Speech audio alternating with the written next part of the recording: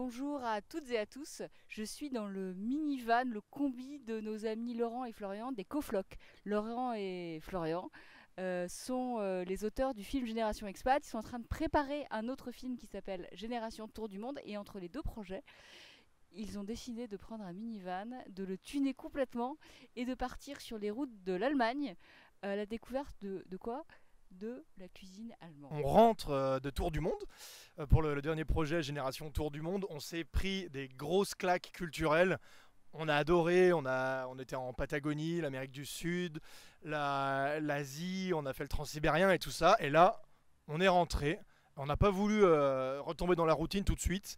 Et là, on repart juste derrière la frontière, en Allemagne. Alors on part pas comme ça à l'improviste, c'est une idée qu'on a eue un, un soir. En fait, on fait ça pour l'Office du tourisme euh, d'Allemagne à Paris, qui est là pour promouvoir un peu l'Allemagne euh, auprès des Français. Et on savait que cette année, le grand maître mot de l'Allemagne, c'était la gastronomie. Tout le monde connaît la bière, les bretzels, les saucisses allemandes, mais en Allemagne, il y a bien plus que ça.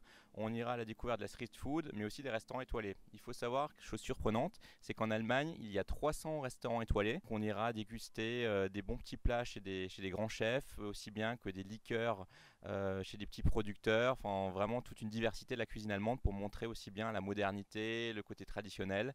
Donc on vous réserve plein de surprises durant ces 15 jours de voyage là-bas.